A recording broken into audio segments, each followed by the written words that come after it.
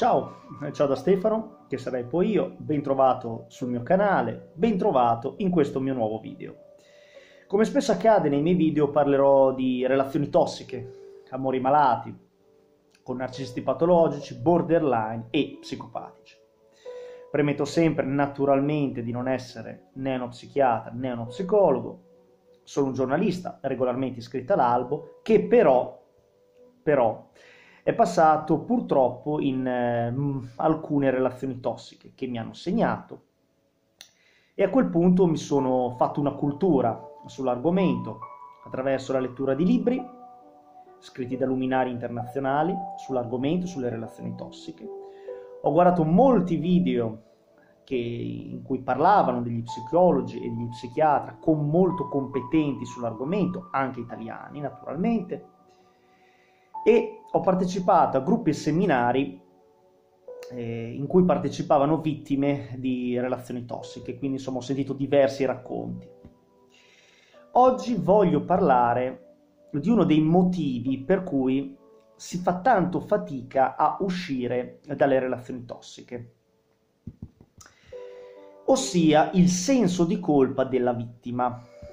Allora, quando tu sei all'interno di una relazione tossica, il narcisista patologico, ma anche il borderline, tende a instaurare, te, instaurare in te un continuo senso di inadeguatezza. Come fa? Attraverso degli abusi, abusi mentali, che spesso e volentieri sono più forti, sono più potenti degli abusi fisici.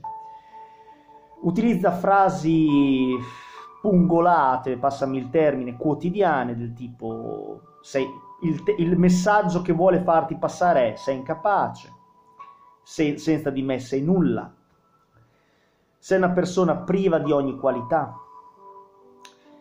La, il tuo cervello non lavora bene, sei un fallito o una fallita, dipende. Questi sono i cinque segnali più importanti, diciamo i messaggi che il disturbato mentale, narcisista patologico, vuole instaurare in te. Perché fa questo? Perché attraverso questi messaggi lui sa, o lei sa, che te prima o poi andrai in tilt mentale, ossia è la goccia cinese, pin pin pin, sempre in testa. A un certo punto tu ti crederai veramente inadeguato o inadeguata, veramente stupido, veramente privo di ogni qualità ma è semplicemente una tattica che questa, tra virgolette, brutta persona, perché si parla comunque di gente che tenta di fare del male all'altro, ok? Che questo disturbato mentale vuole fare a te. Quindi tu sei in profonda confusione, non sai sinceramente cosa pensare.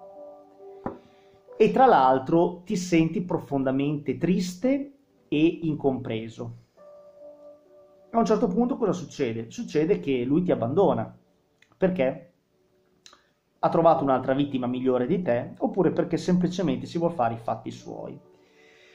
Ecco che arriva nella vittima il senso di colpa, cioè dopo tutto questo abuso che c'è stato nella relazione, la cosa più straordinaria in senso negativo è determinata dal fatto che la, mm, la, vittima ha dei dubbi, ha dei dubbi nel senso che si dice tra sé e sé, ma perché mi ha abbandonato in questa forma così crudele?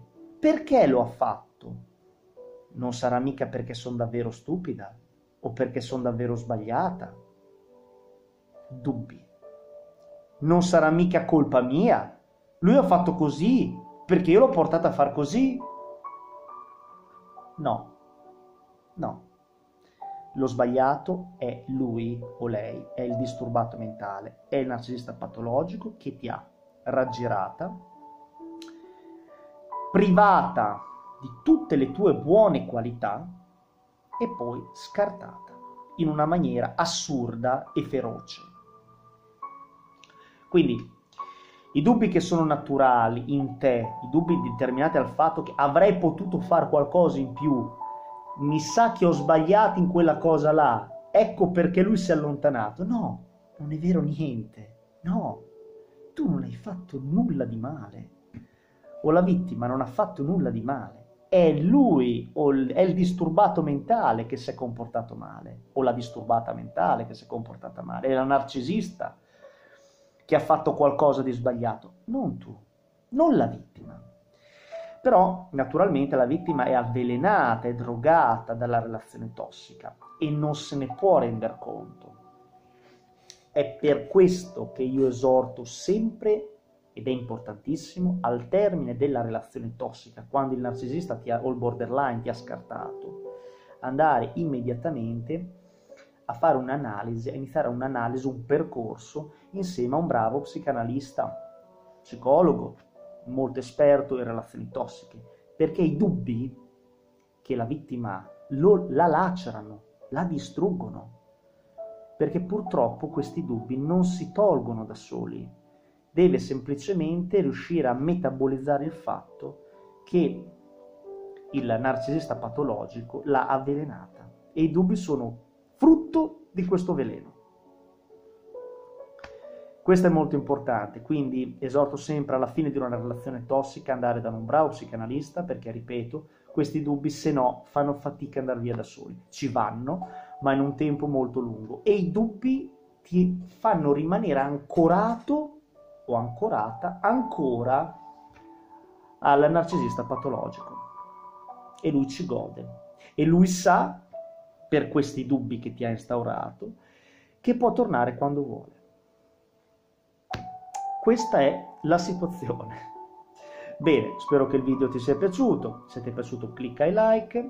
Se conosci qualche persona a cui può piacere questo video, condividilo.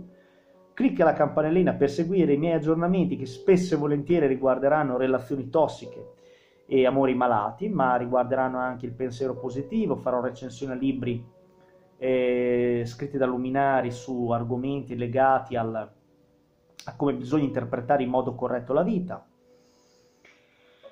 E ciao da Stefano, che sarei poi io.